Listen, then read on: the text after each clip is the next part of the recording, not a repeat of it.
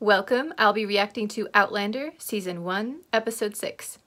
This is not a market substitute, please support the original. I appreciate your concern, Lieutenant. And I can assure you, I'm a guest of the Clan Mackenzie. Claire.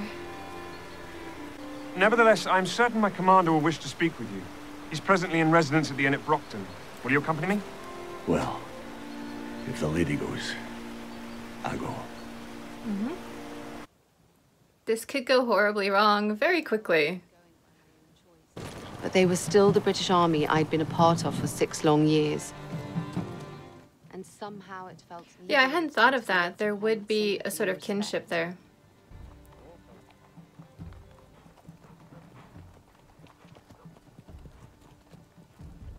I'm not sure if it was still true in this particular era, but in earlier times, the red in the red coats was made of a dye that was actually crushed bugs.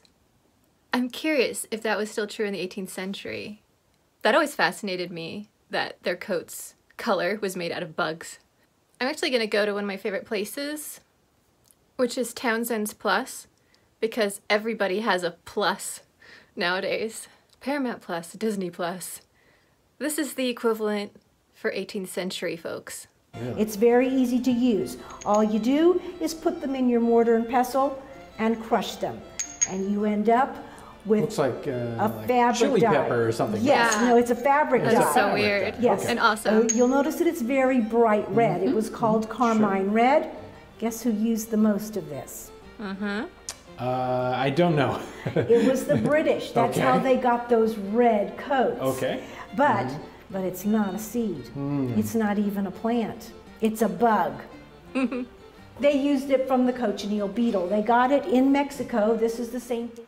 Special thanks to Townsend's Plus for that little rabbit trail. Check them out. They're awesome. A most enjoyable surprise. It has been far too long since I last gazed upon a lovely English rose. Lieutenant here claims you've quite the story to tell. War chief, eh? I'll say this for you, you look the part. A fine specimen of the local inhabitants, my lord. How am I to address you, sir? You can call me Mackenzie if it please you. Or if we're being formal, you can call me Chief Mackenzie. Which in meters of war and bicker leaves us hour for each other as equals, dinna you ken?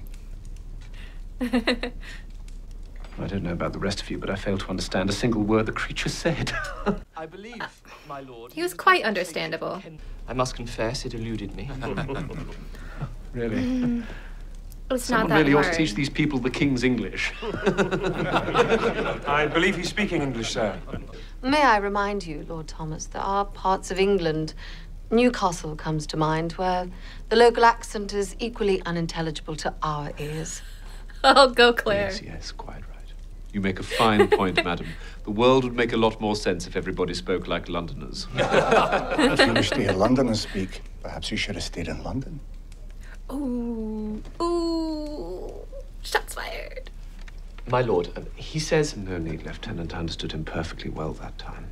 The only thing stopping them from killing each other is this light veneer of civilization. I know you feel comfortable around them, but you have to be careful. That's a lot of wine bottles around you, Claire. I'm worried. Mesmerizing adventure. Lieutenant Foster, I imagine there'll be no difficulty in escorting Mrs. Beauchamp to Inverness, where she may book passage to wherever it pleases her to go. No difficulty at all, sir. I would be forever grateful. It's a trifle, madam. You have my word on it. I don't trust them. I don't trust them. Well, that at this very moment. Oh no! We are not. You're putting the claret at risk. I suggest you step outside and rid yourself of half a league's worth of dust. By all means. We must protect the claret. For a moment there, the lady did look familiar. But I can see now I was wrong. I had the same exact experience. Well, it could have gone worse. What if Captain Randall accompanies you to Inverness? No! Where you may regale him with tales of your adventure. It's sure to make the time fly by. Mm-hmm. Mrs. Beauchamp, he was cradling his severed head, madam. Oh. Well, it was a sad day for Private McGreevy when he got stationed to Scotland. For all of us. Is that all you have to say?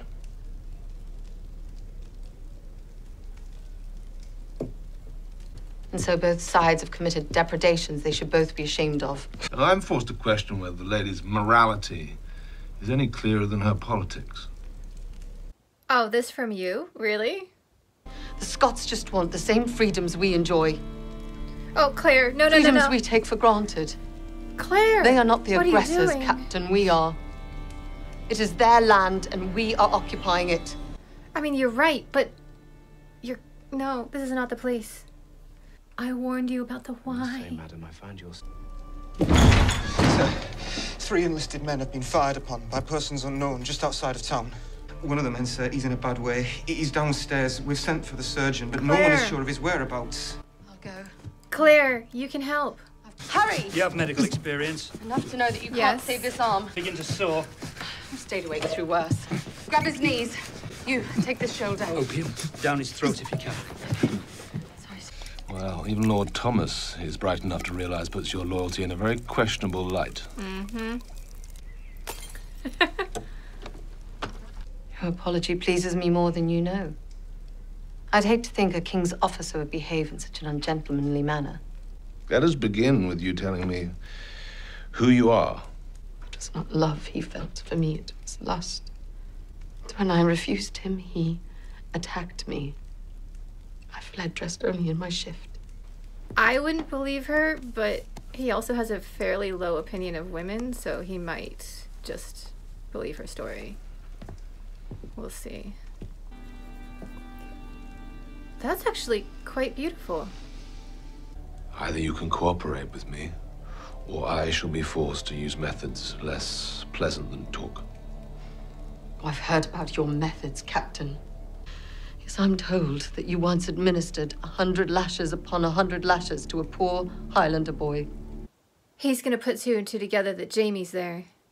What have you done? I love her, but she doesn't think things through. Claire! You're putting them in danger. You're putting Jamie in danger. A poor Highlander boy. I take your meaning. The thief didn't break. No, he took his punishment without making a single sound. I prefer to work on a blank canvas than uh,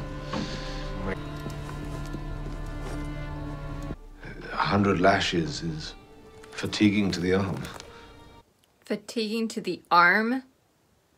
The sheer judder of the whip coursing up my arm, exploding into my heart.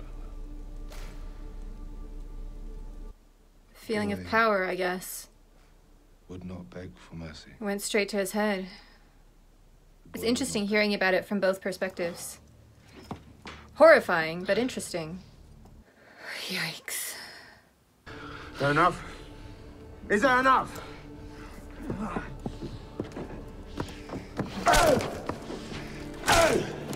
Even the redcoats are like, this is too much. I think it was in that moment that I determined to bleed him to the bone.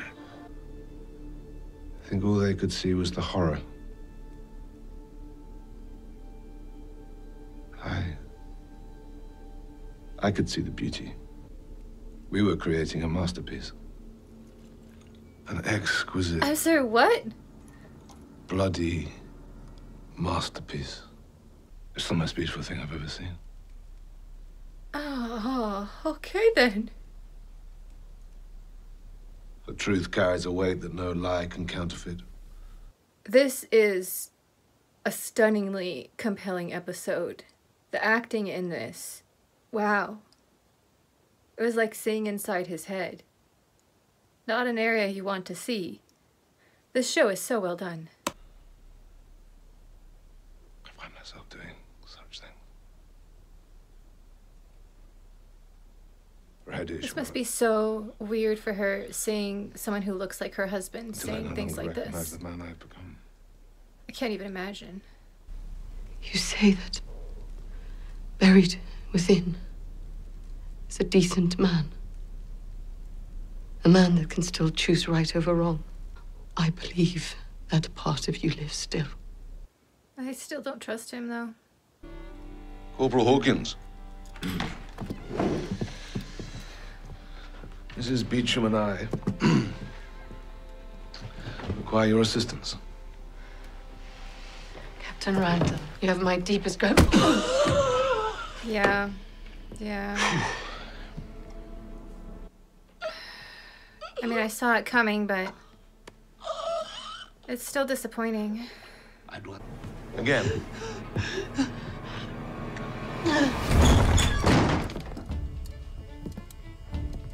Oh, thank goodness, your dear God. Be sure to deliver her to Fort William by sundown tomorrow. If she is not present at the appointed time, you'll be accused of harboring a fugitive from English law. I look forward to our next meeting, Mrs. Beauchamp. Oh. But there's fresh water nearby, and you look like you could use it. Water, where? Down. A holy well. Yes! I wonder if the water spirit of the place can help them. Are you a spy for the English? Or the French? No, she's not. I promise this is the last time I'll ever ask it of you. I am not a spy. I am plain Claire Beauchamp and nothing more. May I ask what convinced you?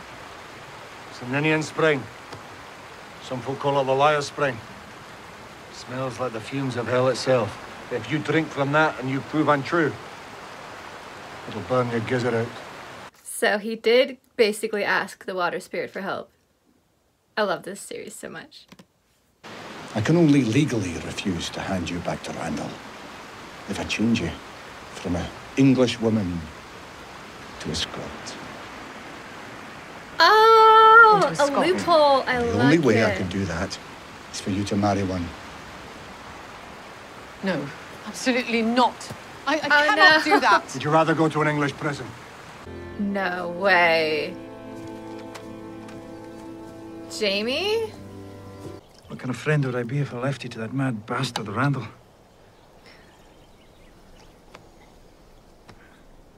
Gorgeous setting. Look at that. Ugh. Am I promised? Yeah, I'd be grabbing that too.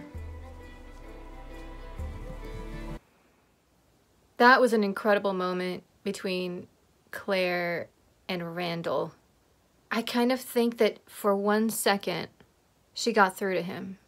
Like a tiny bit. And then he went right back to being himself. This really is her only choice.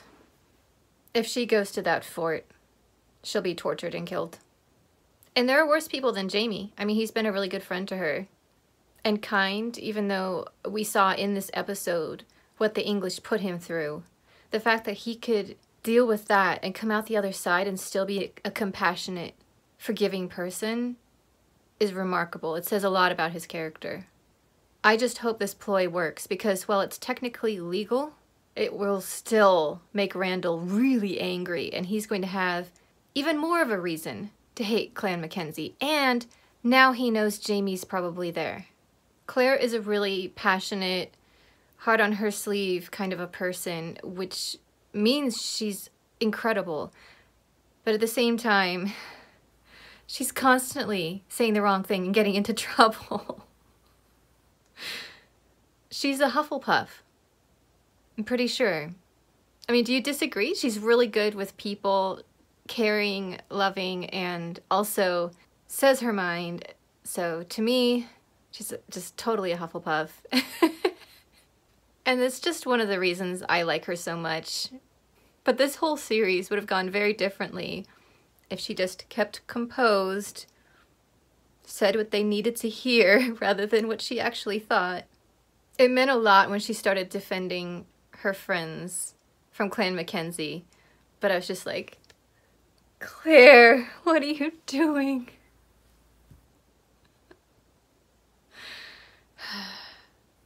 I assume next episode is going to be mostly the wedding and the aftermath of them trying to figure out how to live together when it's more of a legal arrangement and they are friends, but that's it.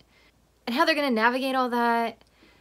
Or we're going to get huge backlash from the English tensions are going to rise and we'll start seeing a lot more violence going on.